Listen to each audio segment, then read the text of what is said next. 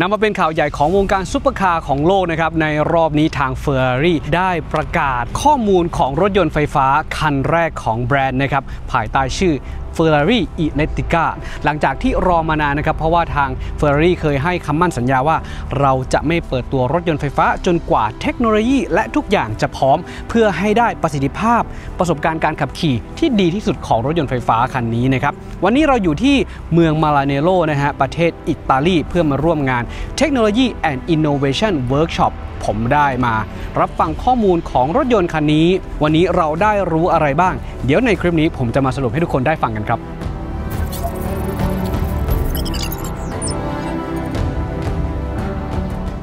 การเดินทางสู่รถไฟฟ้าของ Ferrari ไม่ใช่เรื่องบังเอิญนะครับ เพราะว่าพวกเขาเริ่มวิจัยและพัฒนาเทคโนโลยีรถยนต์ไฟฟ้านั้น มาตั้งแต่ปี 2009 จาก Formula One ผ่านรถต้นแบบอย่าง 599 ในปี 2010 แล้วก็ La Ferrari ในปี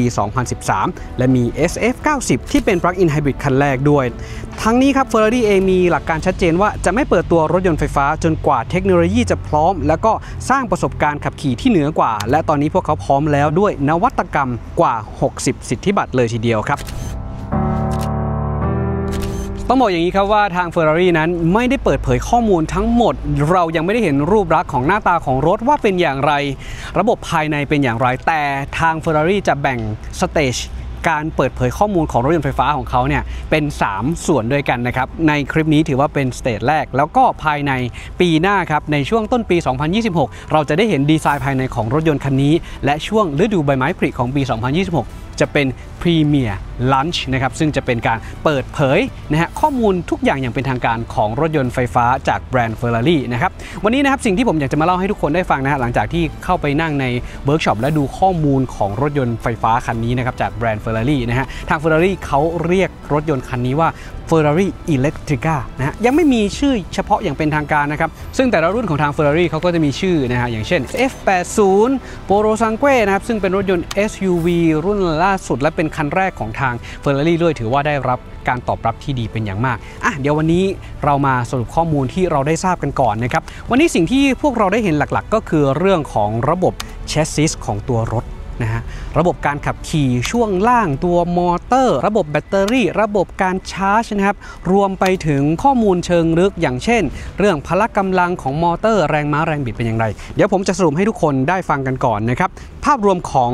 โครงการ Ferrari Electrica นี้นะครับถือว่าเป็นรถยนต์ไฟฟ้าเต็มรูปแบบคันแรกเป็น Full Electric นะฮะเป็นครั้งแรกในประวัติศาสตร์ของทาง Ferrari เลยนะครับถือว่าเป็นจุดหมายสำคัญในด้านกลยุทธ์พลังงานหลากหลายรูปแบบนะฮะไม่ว่าจะเป็นเครื่องยนต์แบบ ICE เครื่องยนต์แบบ Hybrid HEV เครื่องยนต์แบบ Plug-in Hybrid และตอนนี้ก็จะมีทั้ง BEV ด้วย ซึ่งคันนี้นะครับจะใช้เทคโนโลยีแบบ in-house ทั้งหมดเลยนะครับ พัฒนาแล้วก็ผลิตทุกส่วนเองโดย Ferrari นะฮะ มีการใช้สิทธิบัตรกว่า 60 รายการครับ ผมพาทุกคนไปดูเรื่องของโครงสร้างกันก่อนนะครับของตัวรถ แนวคิดทางด้านวิศวกรรม แล้วก็โครงสร้างของตัวรถคันนี้นะครับ ฐานล้อของเขาได้รับแรงบันดาลใจจาก Mid Range Rear Engine นะฮะ ตำแหน่งของคนขับนะฮะจะอยู่ใกล้กับเพาหน้า เพื่อการตอบสนองที่แม่นยำแล้วก็มีความคล่องตัวสูงนะครับ ส่วนแบตเตอรี่จะถูกผสานเข้ากับพื้นของตัวรถครับ เป็นส่วนหนึ่งของโครงสร้างของตัวถังเลย และช่วยลดศูนย์ถ่วงนะครับ ให้ต่ำลงถึง 80มิลลิเมตร วัสดุที่เขาใช้ครับ ใช้อลูมิเนียมที่เป็นรีไซเคิล และยังมี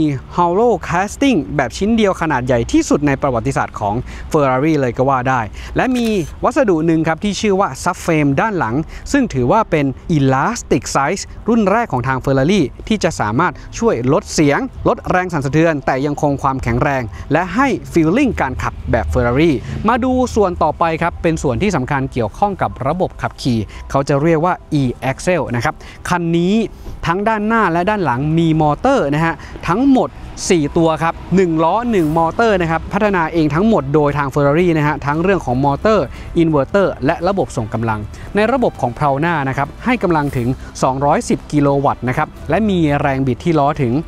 3,500 นิวตันเลยทีเดียว และและสามารถถอดการเชื่อมต่อแบบดีคอป l ได้ทุกย่านความเร็วครับ หมายถึงรถยนต์คันนี้ครับมาพร้อมระบบขับเคลื่อนแบบ 4 ล้อครับ เพราะว่าเขามี 4 มอเตอร์ใช่ไหมคุณผู้ชม เขาสามารถที่จะตัดกำลังของมอเตอร์หน้าออกไปได้ ไม่ว่าจะเป็นที่ย่านความเร็วเท่าไหร่ เพื่อที่จะเลือกการขับขี่แบบ all wheel drive หรือว่า rear wheel drive ได้แบบทันทีเลย ส่งผลก็คือในเรื่องของเราสามารถที่จะประหยัดพลังงานได้ด้วย ถ้าเราขับใกล้ๆ หรือถ้าเราอยากจะได้การขับขี่ที่สนุก และเน้นการขับหลัง เราก็สามารถตัดพละกำลังมอเตอร์ของด้านหน้าออก แล้วก็ใช้เน้นขับหลังได้เลยนั่นเองนะครับส่วนเพลาหลังครับพละกำลังแรงกว่า เพราะว่าให้มาถึง 620 กิโลวัตต์เลยทีเดียว และทอร์กที่ล้อนะครับสูงถึง 8,000 นิวตันเมตรเลยทีเดียวนะครับและมีระบบหล่อลื่นที่มีวาล์วแยกควบคุมด้วยนะครับ ตัวนี้มอเตอร์ไฟฟ้าเป็นแบบ permanent magnet synchronous motor นะครับ ซึ่งเขาใช้เทคโนโลยีจาก F1 มีรอบสูงสุดนะครับ มอเตอร์ด้านหน้าสูงถึง 30,000 รอบต่อนาที และด้านหลังสูงถึง 25,500 รอบต่อนาทีนะครับและความหนาแน่นพลังงานสูงถึง 310 กิโลวัตต์เลยทีเดียวนะครับและเขาใช้ carbon sleeve ครับมีความหนา 1.6มิลลิเมตรยึดกับตัวแม่เหล็กไว้ได้ถึงแรง 2.7 ตันเลยทีเดียว แล้วก็ใช้ Litz wire นะครับในการลดความสูญเสีย แล้วก็จะมี vacuum impregnated resin นะครับเพิ่มการระบายความร้อนให้กับตัวมอเตอร์ด้วยครับมาในเรื่องของ battery system กันบ้าง ตัวแบตเตอรี่ของทาง Ferrari ตัวนี้นะครับใช้เซลล์จาก SK Innovation นะครับจากประเทศเกาหลี แต่ว่าเซลล์ที่ได้มานั้นเขาจะมาทำการประกอบขึ้นที่โรงงานที่มาราเนลโลนะครับจำนวนของแบตเตอรี่ที่ให้มานะครับอยู่ที่ 122 กิโลวัตต์ชั่วโมง และมีแรงดันแบตเตอรี่อยู่ที่ 880 โวลต์ครับคุณผู้ชม เซลล์ทั้งหมดมี 210 เซลล์ เขาจะแบ่งเป็นโมดูลนะครับ ในรถยนต์คันนี้จะมีแบตเตอรี่ทั้งหมดถึง 15 โมดูล โดยจะแบ่งเป็นชั้นล่างเนี่ยเป็น 13 โมดูล แล้วก็ชั้นบนเป็นอีก 2 โมดูล ซึ่ง 2 โมดูลนั้นจะอยู่ที่บริเวณโซนแถวนั่งด้านหลังนะฮะ ดังนั้นสิ่งที่เราได้ข้อมูลจากตัวนี้เพิ่มเติม เรารู้ว่ารถยนต์คันนี้ครับ Ferrari Electrica เนี่ยจะเป็นรถยนต์แบบ 4 ที่นั่งนะครับ เพราะว่ามีคำหนึ่งที่เขาบอกว่าเป็น แถว2นะฮะนี่ดังนั้นเราต้องมาดู เพราะว่าเขายังไม่บอกเลยว่าคันนี้จะเป็นรถยนต์ซีดาน ปกติเราจะเห็นรถยนต์ถ้าเป็นขับของทาง Ferrari อาจจะเป็น 2 ที่นั่งนะครับสี่ที่นั่งมีน้อยมากนอกจาก Purosangue ที่เราได้เห็นนะครับแต่คันนี้ครับก็ยืนยันมาว่าจะใช้แบบ 4 ที่นั่ง ตัวนี้เองนะฮะโมดูลที่เขาดีไซน์ออกมาทำไมทาง Ferrari ใช้รูปแบบแบตเตอรี่เป็นโมดูลที่แบ่งเป็น 15 โมดูล เพราะว่า 1 เพื่อการซ่อมที่ง่าย 2 เพื่อการอัปเกรดได้ในอนาคต 3 ถ้าหากว่ามีเทคโนโลยีแบตเตอรี่ใหม่ เขาสามารถดีไซน์ตัวโมดูลของแบตเตอรี่ และสามารถนำมาเปลี่ยนให้กับตัวรถเขาเองได้ จะสังเกตว่ารถยนต์คันนี้ให้แบตเตอรี่มาค่อนข้างเยอะเลยทีเดียวนะครับ ดังนั้นระยะทางของคันนี้ครับสามารถวิ่งได้ระยะไกลสุดที่ 530 กิโลเมตรเขายังไม่บอกมาตรฐานนะอาจจะเป็น WLTP ก็ได้นะครับ และรองรับการชาร์จเร็วนะครับ DC Fast Charge อยู่ที่ 350 กิโลวัตต์ และ AC Fast Charge อยู่ที่ 22 กิโลวัตต์ครับ ทั้งนี้ระบบแบตเตอรี่เองมาพร้อมระบบ Cooling System นะครับ ซึ่งเป็น Liquid นะ คุณผู้ชม เขาจะมีระบบท่อที่อยู่ภายใต้แผ่นระบายความร้อนที่เป็นแผ่นอลูมิเนียมอยู่ข้างล่างนะครับ เขาจะมีแผ่นอลูมิเนียมข้างล่างก่อน และจะมีท่อที่เป็นสีฟ้าๆครับ ตัวนี้เป็นท่อระบายความร้อนที่จะมีมีของเหลว โดยของเหลวครับจะสามารถไหลนะฮะในอัตราความเร็วนะครับตั้งแต่ 5 ลิตร ไปจนถึง 31 ลิตร ต่อนาทีนะฮะเพื่อที่จะระบายความร้อนออกจากตัวเซลล์แบตเตอรี่นะทำให้รักษาประสิทธิภาพของแบตเตอรี่ แล้วก็ความแรงของมอเตอร์เอาไว้อยู่ได้นะครับตัวนี้เองตัวฐานแบตเตอรี่นะฮะออกแบบให้เป็นส่วนหนึ่งกับโครงสร้างของตัวรถ แล้วก็ช่วยเพิ่ม stiffness และก็ยังสามารถลดน้ำหนักให้กับตัวรถได้ น้ำหนักโดยรวมของคันนี้นะครับอยู่ที่ประมาณ 2,300 กิโลกรัมนะครับและตัวนี้เองมาพร้อมระบบ BMS แล้วก็ CSC ที่พัฒนาโดยใช้อัลกอริทึมเฉพาะของทาง Ferrari มาถึงตัว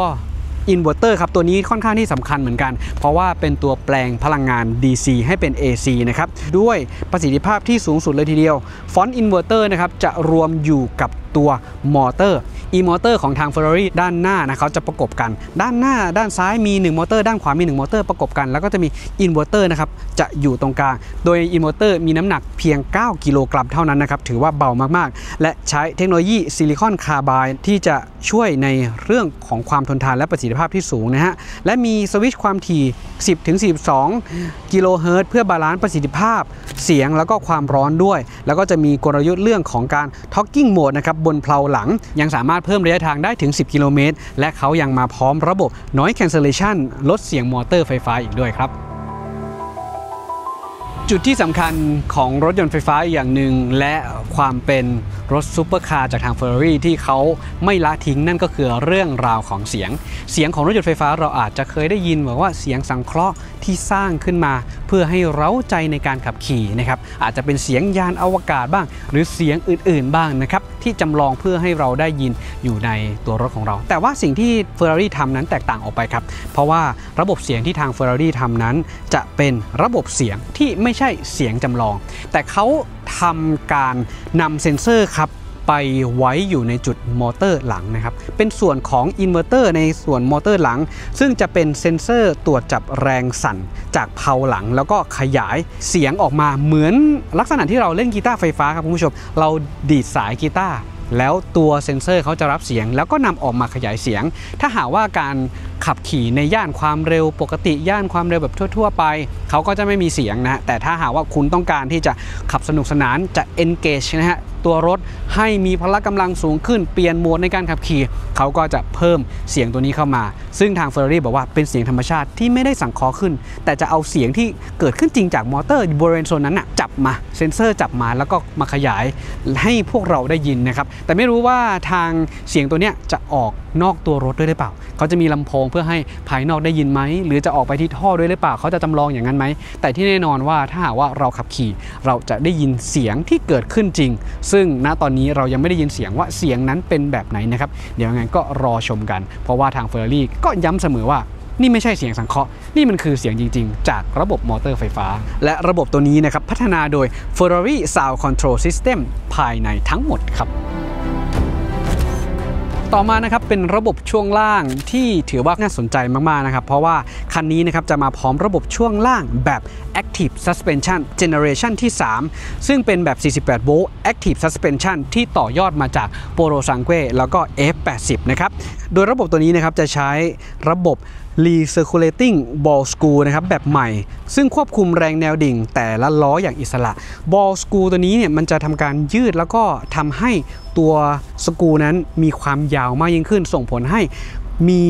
แรงในการที่จะเป็น shock absorber เนี่ยทำได้ดีขึ้นนะครับ แล้วทำให้มันมีความ smooth ในการรับแรงกระแทก และตัวนี้เองยังสามารถลดน้ำหนักรวมได้ถึง 2 กิโลกรัมเลยทีเดียวนะครับ และทั้งนี้ยังรวมกับ เทอร์โมคูเปอร์นะครับตรวจสอบอุณหภูมิของน้ำมันหล่อลื่นด้วย ระบบปุ่มแยกแบบคอมฟอร์ตออกมานะครับ สามารถจูนได้ละเอียดมากยิ่งขึ้น และทั้งนี้เอง ระบบช่วงล่างของเขาเนี่ยเขาจะมีการเลี้ยว4ล้อด้วยนะครับล้อหน้าเลี้ยวปกติอยู่แล้ว ล้อหลังก็จะเลี้ยวได้ด้วย มีความเอียงนะครับสูงสุดที่ 2.15 องศานะฮะตัวนี้จะช่วยให้เราเลี้ยวรถได้ง่ายขึ้น และในช่วง cornering นะฮะเวลาที่เข้าโค้งเนี่ยเขาก็จะทำการเข้าโค้งได้หนึบมากยิ่งขึ้น เพราะว่ามาจากล้อหลังนะครับตัวนี้เอง New Subframe ของเขาที่พัฒนาขึ้นมาจะเป็นการขึ้นรูปนะฮะแบบชิ้นเดียว แล้วก็จะใช้อลูมิเนียมที่เป็นรีไซเคิลนะครับแล้วก็ได้ประโยชน์เรื่องของการลดคาร์บอนไดออกไซด์ในการที่จะผลิตนะครับถึง 6 7 ตันต่อ 1 คันเลยทีเดียวนะฮะ ตัว subframe นั้นเขาจะมีบูชครับบูชทั้งหมดใหญ่ ๆ นี่ประมาณสัก 8 ตัวเลยทีเดียว ซึ่งตัวนี้ครับเขาจะเอาไว้รองรับกับส่วนของ e-motor ที่เป็นชุดขับของเพลาหลัง ก็จะมีบูชเวลาที่มอเตอร์ทำงานตัว e-motor มันก็จะสั่นอาจจะมีแรงที่เกิดขึ้น ตรงนี้เขาจะส่งมาที่ subframe ก่อน subframe ก็จะลดแรงสั่นสะเทือน NVH ตัวนี้ก็จะดีขึ้นนะครับแล้วตัว subframe เองก็ค่อยจะต่อไปกับตัวเฟรมใหญ่ของตัวรถ ดังนั้น แรงสั่นสะเทือนที่เกิดขึ้นไม่ว่าจะจากถนนพื้นถนนเนี่ยเขาก็จะมีระบบช็อคอัพตัว Active Suspension รับอยู่ในระดับหนึ่งแล้วก็จะมีตัว subframe มารับก่อนที่จะถ่ายมาจนถึงตัวเฟรมของตัวรถ ดังนั้นสิ่งที่จะเกิดขึ้นก็คือตัวรถยนต์คันนี้จะมีความ comfort มากขึ้นมาก ๆ เลยนะครับ เพราะว่าเขาจะมีเซ็นเซอร์ในการตรวจจับ เพื่อดูว่าตัวถนนเวลาที่วิ่งไปนั้น ถ้าหากว่าเจอถนนที่เป็นหลุมนะครับล้อเขาอาจจะต่ำลงไปแต่ว่า subframe แล้วก็ตัวเฟรมของตัวรถยังคงนิ่งอยู่าง Ferrari บอกว่าคันนี้จะเป็นคันที่นั่งได้สบายนะครับ แล้วก็ยังขับขี่ได้ handling ที่ดีด้วยครับ ระบบช่วงล่างด้านหลังก็ยังมาพร้อม multi-link นะครับ และยังมีการปรับเปลี่ยนเรื่องของระบบจานเบรกที่เป็นเซรามิกเบรกจะมาพร้อมขนาดใหม่อยู่ที่ 372มิลลิเมตรนะครับ มาเกี่ยวกับระบบ Torque Chip Engagement บ้างนะครับ เรื่องของการควบคุมแรงบิดทาง Ferrari เขาจัดการยังไงบ้าง เขาดีไซน์มาให้เราสามารถจัดการแรงบิดนะครับได้ถึง 5 ระดับโดยจะใช้ Pedal Chip ที่อยู่ด้านหลังของพวงมาลัย และนอกจากนี้นะครับเขายังสามารถสร้างการควบคุมได้ถึง 5 ระดับเลยทีเดียว โดยจะใช้ Pedal Chip ด้านซ้ายนะครับในการปรับระดับ Engine Brake จำลอง และก็จะมอบอัตราเร่งอย่างต่อเนื่องแบบ Ferrari Classic ในโลก EV นะฮะส่วนปุ่ม Manettino นะครับก็ยังคงมีอยู่นะครับเขาจะแยกเป็นซ้ายขวา ด้านซ้ายจะเป็นปุ่ม e m a n e t i n o นะครับซึ่งจะควบคุมโหมดด้านพลังงาน ไม่ว่าจะเป็นเรื่องของ Range ทัวร์หรือว่า Performance หรือคุณจะสามารถเปลี่ยนรูปแบบการขับจาก Rear Wheel Drive ให้เป็น All Wheel Drive ได้เลยนะครับ โดยระบบจะคำนวณ Dynamic Parameter กว่า 200 ครั้งต่อ 1 วินาที ส่วน m a n e t i n o ด้านขวานะครับจะเป็นการควบคุมโหมด Dynamic ของตัวรถนะครับ ไม่ว่าจะเป็น Ice Wet Dry นะฮะสปอร์ตแล้วก็ ESC Off ตรงนี้สามารถขับขี่ได้อย่างสนุกสนานอย่างแน่นอนนะครับ ส่วนในเรื่องของยางครับข้อมูลที่ได้มานะฮะตอนนี้ทาง Ferrari เองก็พัฒนาร่วมกับผู้ผลิต 3 รายใหญ่นะครับ มีการลด rolling resistance นะครับลง 15%ตัวรถนั้นไหลได้ง่ายขึ้น แต่ว่าก็ไม่ลดตัวกริปนะครับแล้วก็จะมีศูนย์ถ่วงต่ำครับทำให้แรงถ่ายระหว่างเพลาน้อยลง สามารถควบคุมได้ง่ายขึ้น และมีอย่างให้เลือกถึง 5 แบบนะครับไม่ว่าจะเป็น 3 แบบแห้ง 1 แบบ winter ฤดูหนาวแล้วก็ 1 แบบ run flat นะครับ คราวนี้มาสรุปสเปคของคันนี้กันบ้างนะครับ เรื่องของ performance คันนี้ครับสามารถทำอัตราเร่ง0ถึง100 ได้ในระยะเวลาเพียง 2.5 วินาทีครับ และความเร็วสูงสุดของคันนี้อยู่ที่ 310 กิโลเมตรต่อชั่วโมง พละกำลังรวมมากกว่า 1,000 แรงม้าครับ และระยะทางวิ่งมากกว่า 530 กิโลเมตรครับ น้ำหนักรวมของตัวรถอยู่ที่ประมาณ 2,300 กิโลกรัม และมีการกระจายน้ำหนักโซนหน้ากับหลังนะครับ อยู่ที่ 47 ต่อ 53%นะครับ ความจุแบตเตอรี่นะครับอยู่ที่ 122 กิโลวัตต์ชั่วโมงนะครับ เป็นแบตเตอรี่ชนิด NMC มาพร้อมแรงดันถึง 880 โวลต์นะครับกำลังชาร์จสูงสุดอยู่ที่ 350 กิโลวัตต์ และ AC Charging อยู่ที่ 22 กิโลวัตต์ครับ Ferrari Elettrica นี้ถือว่าเป็นการพิสูจน์ว่ารถไฟฟ้าสามารถที่จะให้ประสบการณ์การขับขี่ที่ตื่นเต้นได้ เหมือนรถยนต์ เครื่องยนต์สันดาปหรืออาจจะมากกว่าด้วยซ้ำนะครับสำหรับเรื่องของการเปิดตัวนะครับ จะมีกำหนดการอยู่ที่ต้นปี 2026 นั้น เราจะได้เห็นการดีไซน์แบบภายใน และในฤดูใบไม้ผลิปีหน้าครับ จะมีการเปิดตัวอย่างเป็นทางการทั่วโลกที่จะเผยให้เห็นการผสมผสานระหว่างเทคโนโลยี แล้วก็ดีไซน์อย่างสมบูรณ์แบบครับ นี่ไม่ใช่รถยนต์ไฟฟ้า แต่เป็นจุดเริ่มต้นบทใหม่ของ Ferrari ที่พร้อมพิสูจน์ว่าอนาคตของซุปเปอร์คาร์สามารถเป็นมิตรกับสิ่งแวดล้อมได้โดย ไม่สูญเสียจิตวิญญาณของการขับขี่ ขอบคุณสำหรับการติดตามครับ สวัสดีครับ